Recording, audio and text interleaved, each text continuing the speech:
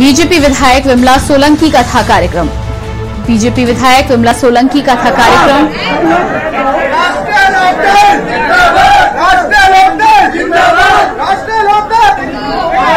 रालोर जिंदाबाद के नारे वाला वीडियो हुआ वायरल। सिकंदराबाद विधानसभा क्षेत्र का बताया जा रहा है वीडियो। कि आप देख पा रहे हैं? बुलंदशहर।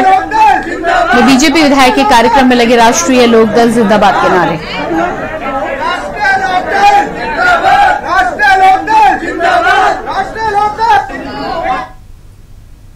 और इसके बाद बात करेंगे बांदा की जिला